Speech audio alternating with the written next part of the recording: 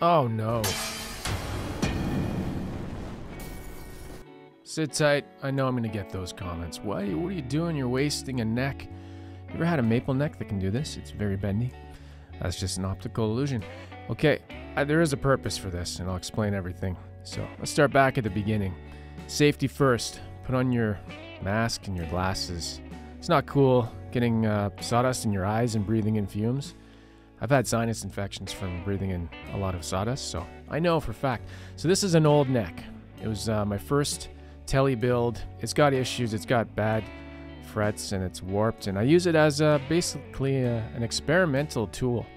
So I'm going to be cutting it open because people want to know what it looks like inside. You you wanted to know? No, nobody wanted to know. I, I was like, I need to use this thing for something else. Explain it in a second. So I'm working on another project right now, and I'm finishing a body, like a guitar body. And I noticed that the, the big companies, I saw how Fender does it and stuff, and they have these rods that attach to the body. I'm like, I need to use one of those. So I've got these old necks, a couple of them, and they're like 30 bucks. They're not great, they're not good quality. I thought, you know what, I can use one of those as a support rod when I'm doing the finishing work. But wouldn't it be cool to see inside the neck as well? So I decided, I'm like, you know what, let's make a couple videos out of this. Let's cut this one open. So it's maple, and once I get down to the actual truss rod, I go to the hacksaw so I can cut through the metal. And uh, definitely do this in an open space where you got good circulation. I pull out a vacuum cleaner in a second here, an old dirt devil, because I want to collect all the fibers and uh, the metal particles and stuff like that. You'll see in a second here once I reach it. And notice, you know what? This is probably not the best having this this metal floating around, so it's also why I'm wearing a mask. So yeah, I'm not wasting this neck. This neck is getting a new life. It had a previous life on a guitar, and that life ended, and it's been sitting on the floor or in a closet or something for years, and now it's getting a new life. It's gonna have a new purpose.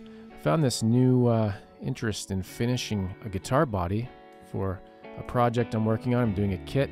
You'll see it at the end here. So, anyways, it's a lot of work to cut through this. Just want to show how much work it is. Do it. You can do it. Come on. Didn't take that much time, but there we go. Realized, yeah, let's get that vacuum going. And uh, that vacuum sucks. It's not great, but you know, it's doing its job, sucking up the uh, the dust and the little metal filings that are coming out of this truss rod. I don't know what kind of metal that is. I'm hoping it's not heavy metal. Sorry, it's terrible, horrible, terrible jokes. This guy sucks. Can you tell I wrote this script? No, this is one take live. I'm watching the video right now as you're watching it. I'm just enjoying it.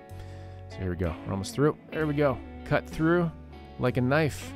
It's just like a katana. And uh, we're just going to clean up the ends.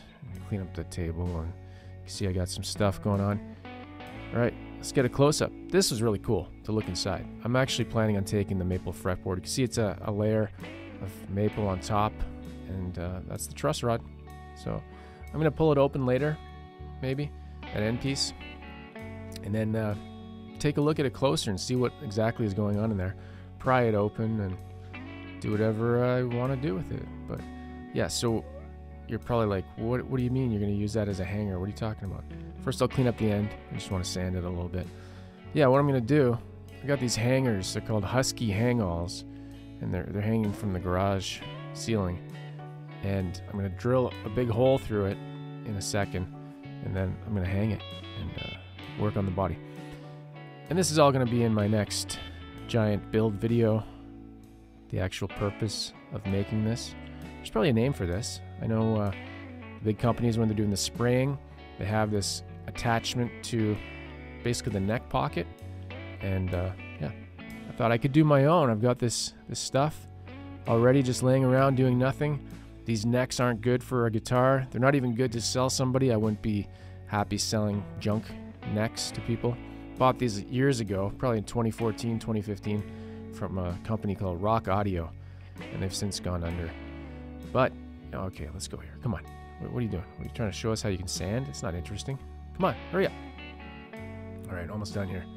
We'll get to the point I was talking about so you can see what's going on, and you're going to get a sneak preview of the uh, Jazzmaster style build that I'm working on.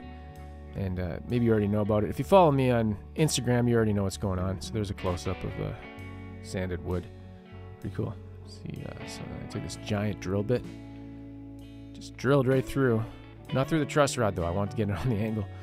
That would be a problem. You, you can't do that. So here we go. Drilled right through. Now I've got a hanger, and this is the purpose.